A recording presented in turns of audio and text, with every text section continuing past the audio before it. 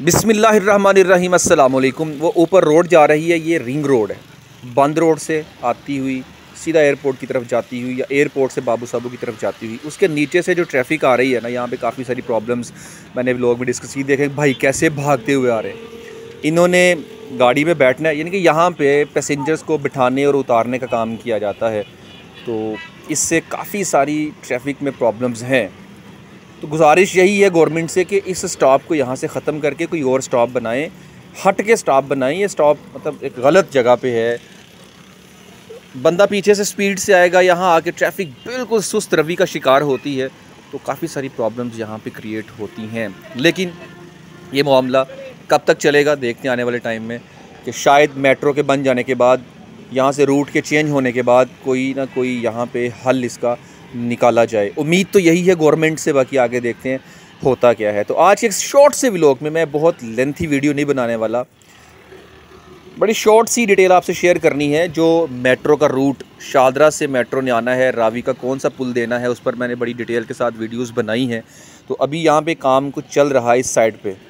शादरा चौक से आज़ादी चौक आते हुए, जहाँ से पुल ख़त्म होता है, वहाँ पे ही ये एक्सीवेटर अभी काम कर रही थी। अब तो खैर ये जा रही है यहाँ से।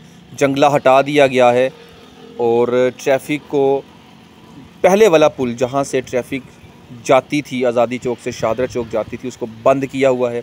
मेट्रो ने अब उस पुल के ऊपर आना है। उसी के लिए काम यहाँ पे किया जा रहा है और जंगले वगैरह हटा दिए गए हैं। दो लेन्स मेट्रो को दी जानी है फ़ोर फोर लेन्स ट्रैफ़िक के आने और जाने के लिए होंगी।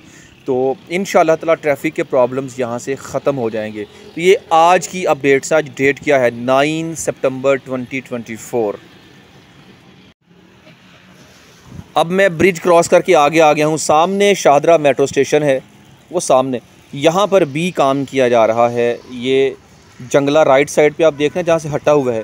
यहाँ से ही मेट्रो ने इस रोड के ऊपर आना है। और ये हिस्सा जहाँ पे आपको कली नज़र आ रही है, नीचे कली की हुई है, वाइट कलर की, इसके अंदर मेट्रो रहेगी। इनकी एक लेन मेट्रो की ये होगी, एक लेन जंगले के अंदर वाली साइड पे होगी। तो ये सेंटर वाला जंगला हट जाएगा, वो जंगला यहाँ आ जाएगा, जहाँ पे ये कली की गई है।